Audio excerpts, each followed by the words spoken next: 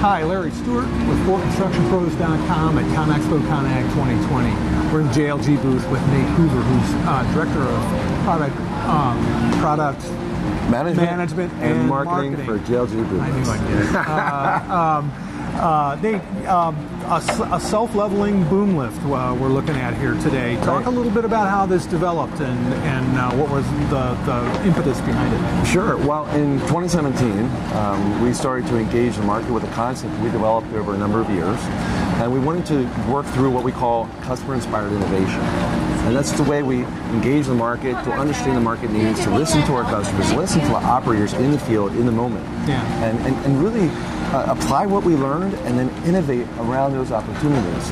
And self-leveling is probably a great example of that, where we heard a lot of pain points, and two of which included one, the, the, the need to reposition over and over and over again a standard boom lift with a rigid chassis with an oscillating axle. Mm-hmm. And that can be really challenging, right? Because sometimes it's not, you're not successful.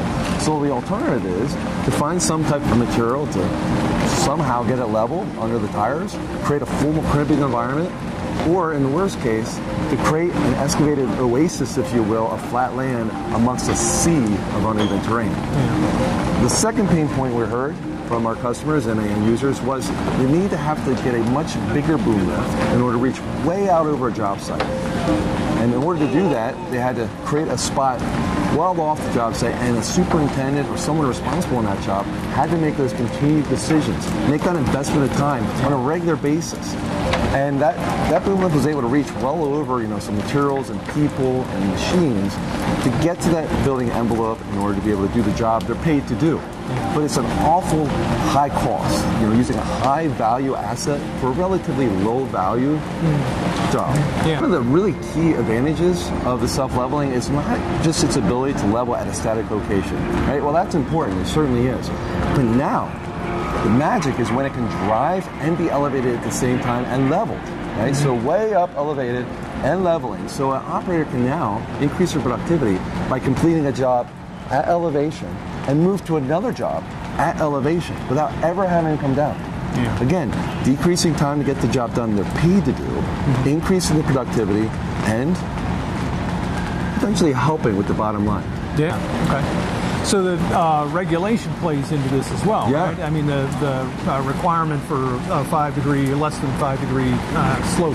Yeah. So, and, and coming in the and later this year is called ANSI 9220. And ANSI 9220 is a regulation that sets the standards for AWPs or mobile elevated work platforms, MEWPs. And one of the things that is going to come into effect is the the machine, whatever that machine might be, and what's their standard boom lift, if it exceeds its rated incline um, capacity, if you will, it can no longer elevate, which means that the machines out there that have been historically elevated for one reason or another past that rated incline, they will no longer be able to do that. As a result, there is absolutely no work to be done, no productivity, no elevation to do a job at height. Yeah, yeah. So, uh, how did you pull this off? The the you've got kind of an independent suspension system on all four wheels. Yeah, you know, and, and suspension is a good word for it. However, it's also a, a really controlled uh, cylinder-based and highly complex software algorithms in order to be able to make all of this happen. Um, so the chassis among the 670, which is a fully integrated solution, uh, is able to adjust to the ground based on understanding what's happening on the ground. The operator doesn't have to do anything. Right? So now the operator's up there, understanding what's happening around them, but also not having to really concentrate on how to make sure it's level at all times. It does that. Right? Um, one of the biggest challenges that we faced was how do we do that while also having complexity and the dynamics of a much larger boom swinging around, right?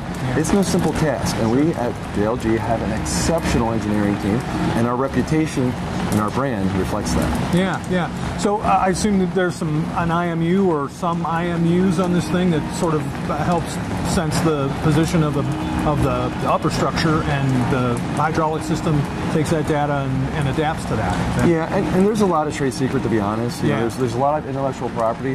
Right? We brought this out and we've secured a lot of that because a lot of the stuff that we learned along the way is really some special stuff. Yeah. Um, and how we do that, I can't really speak to that, but what I can tell you is this. We have the ability to monitor the dynamics of the machine in such a way that is a highly performing uh, machine and a solution, fully integrated solution. I noticed too in the demo that uh, uh, when when the machine goes into transport mode, when you when you, you lower it down to the Sure, ground, yeah. you lower that, that center of gravity. Why is the is the housing elevated during operation? What is the, what what does that accomplish?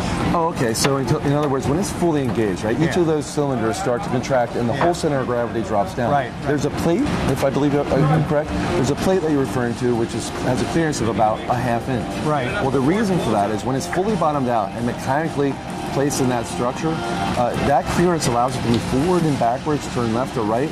For the operator who is transporting this to just get it in its final position on the trailer. Okay. Why is that important? Well, now you can properly tie it down.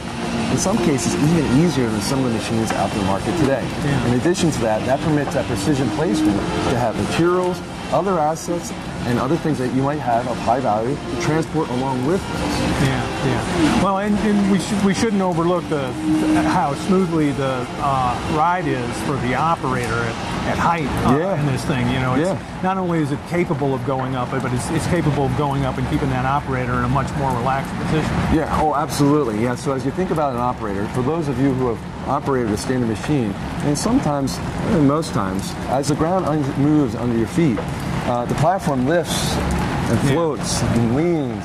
And over time, the operator now is in a position where they have to continue to maintain that stability and that floating of their body. And subconsciously, they're doing that. But even consciously, they're realizing over time, it is taxing Sure. right? And the other thing to note is, as ANSI starts to come into play, you know, again, that's not going to be possible, right? Yeah. But this is a solution, among others. But this this is a very unique solution Mm-hmm. in order to be able to deliver against ANSI requirements and exceed the five degree limits of all the other solutions, all of the other products in the market. Yeah. It goes up to 10 degrees. Does, do the ANSI standards um, uh, uh, can can they accommodate a machine like this, or does there need to be a modification of the standard in order to make this acceptable? Oh no, this is this is this is already ANSI compliant, fully Okay. ANSI compliant. In fact, it meets and exceeds in many cases those rate, those expectations. In fact, it's, it, if I were to look at this from just how it performs, you know, it is a solution Yeah. And maybe the solution. Yeah. You have to be determined, but it's a very high performing answer to a lot of big challenges that we're facing as an industry. Yeah, yeah. Well, it's a real interesting machine, and it was a very interesting demonstration. And I wish you the best of luck with it. Yeah, we're, we're thrilled, very excited. Just to make sure everyone knows this is this is very exciting for JLG. Yeah. This is one example of many as we go forward that you can come to expect from our brand. Everything we have today, durability, reliability, everything you come to expect from JLG is just continue to be increased over time as we innovate to meet our customers' needs. And we often say this. When we deliver a product to the market, we want our customers to look at us and say, you know what, JLG, you thought of everything. And we want to say to our customers, you know what? We didn't think of everything. You did. Our customers. We just listened, applied what we learned, and innovated. Well, good job. It's a good, good uh, um, demonstration and a real convincing uh, uh, product. Best of luck with it. Thanks so much. It was Thank- a pleasure. Thank you. Bye. When your dealer services your cat, they know there's a lot more riding on it than just you. Let's do the work.